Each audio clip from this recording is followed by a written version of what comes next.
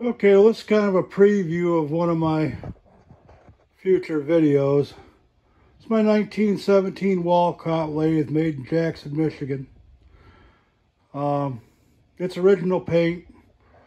I built this uh, overhead gantry drive so I could still use the cone pulleys.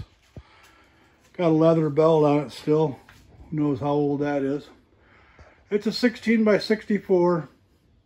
Um, doesn't really have any damage anywhere.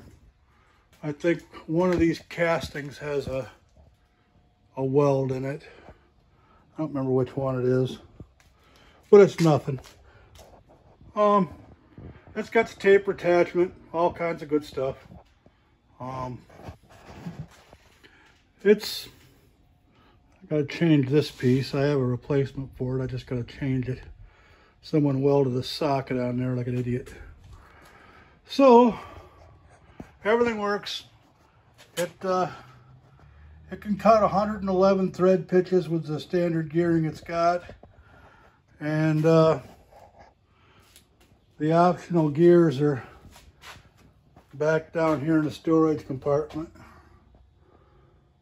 Both gear sets and the letter gear off some other thing.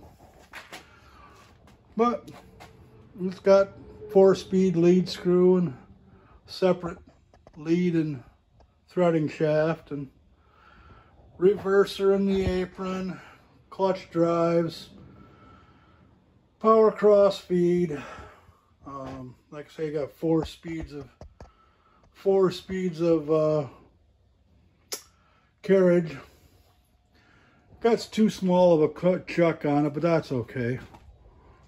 And uh, anyways, people, the reason I did this, people ask me more than once, many times actually, how come I don't clean these old machines up? How come they're covered in a thick layer of grunge? Every one of them. And I'll tell you why. In Michigan, every spring, when the frost heaves or leaves the ground, these machines get coated, completely coated with sweat. When that humidity changes on that drastic couple of weeks when the ground is thawing, the humidity just covers all these machines. Every one of them just gets covered in a thick layer, excuse me, of grunge, of, of water. So what I do, every one of these machines gets completely covered in cheap spray oil three or four times a year. The dust out of the air, everything, everything lands on them.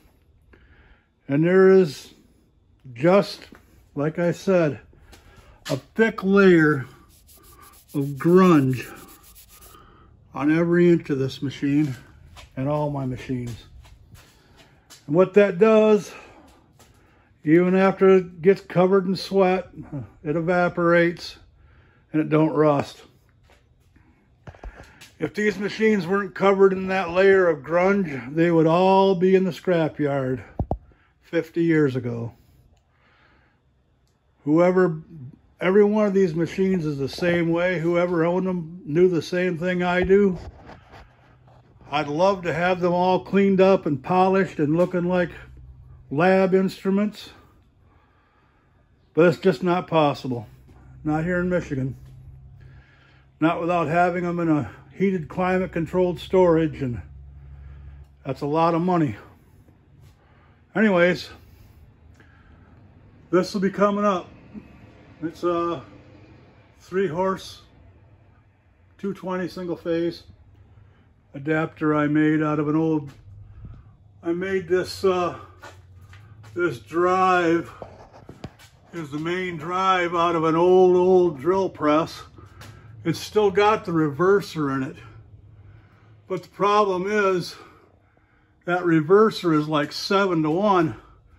So if I engage that reverser, this lathe right now that shaft runs about 275 RPM if I engage that, you know, that shaft up there would be doing 1800 RPM or better and this lathe would probably fly apart. Even though I've had it well over a thousand RPM before just to see what it would do. Didn't make a drop of noise, it didn't get hot. But I'm just not comfortable spinning that old iron chuck any faster than about 400. Right now it's running about 265 RPM at the at the chuck. And I can obviously go up. So anyways, you'll see a video of this here one of these days. See ya.